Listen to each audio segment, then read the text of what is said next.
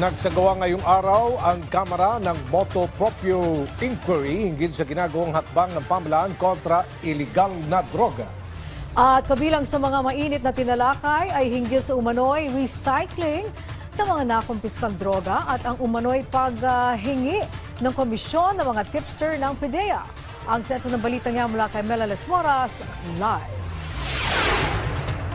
Aldra Angelique kapwa tiniyak ng PNP at PIDEA na wala umunong nangyayaring drug recycling sa kani-kanilang ahensya kasabay ng pagtitiyak na pinaigting nila ang kampanya kontra iligal na droga ng pamahalaan. Sa ikinasang moto proprio investigation ng House Committee on Dangerous Drugs ukol sa umunoy drug recycling, reward system at pagbibigay ng komisyon sa mga asset ng PIDEA gayon din sa PNP, binigyang diin ng mga mambabatas na mahalagang matalakay ang issue para mas mapaigting pa ang pagsugpo ng iligal na droga sa bansa at huwag nang madawit dito ang mga uniform personnel.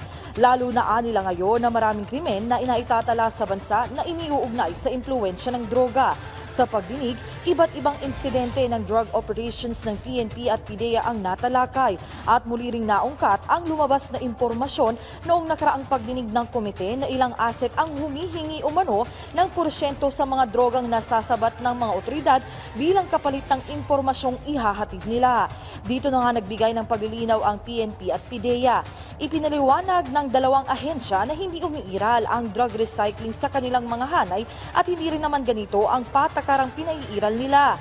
Aminado ang mga ehensya na sa ngayon, may naiulat namang mga kawani ng gobyerno na nadadamay pa rin sa isyu ng droga pero tiniyak nilang lahat ng paraan ginagawa naman nila para masugpo ito. Sabi ni Dangerous Drugs Committee Chair Robert Ace Barbers, hindi naman na nila nila nilalahat ang mga tinatawag na bad cops dahil naniniwala sila na mas marami pa ring mabuti at responsabling pulis at ginagawa lang nila ang mga ganitong pagdinig para matiyak na mas maiayos pa ang haning ng mga otoridad. Bukod naman sa issue ng umano'y drug recycling, tinalakay rin sa pagdinig ang pagbuo ng Anti-Drug Abuse Council sa lahat ng barangay, bayan, lungsod at lalawigan sa bansa. Aldra Angelic sa ngayon ay uh, mula sa pagdinig ay uh, nagkaroon naman ng executive session ang mga mambabatas dito pa rin sa House Committee on Dangerous Drugs ukol pa rin sa issue ng drug recycling. Kanina nga Angelic talagang ma maigting na na sinabi ng PNP at PDEA na hindi naman sila nagre-recycle ng drugs lalo na nga sa pagbibigay ng reward dun nga sa mga tipster. Pero sa kanina nga bago tayo uh, sumalang sa ating uh, pag-ere ay uh, isa rin sa mga natalakay yung mga ulat naman na tungkol na, na gagamit pa rin itong mga illegal na droga sa ibang paraan matapos ngang masabat ng mga otoridad. Kaya yan yung talagang binubusisi ng mga mambabatas. Angelique, Yes, Aldo. Mela, mula sa House Inquiry, may mga nakikita ba ang mga mambabatas na mga bagong panukalang batas na kailangan nilang isulong para mas mapaigting pa ang paglaban natin sa illegal na droga sa bansa?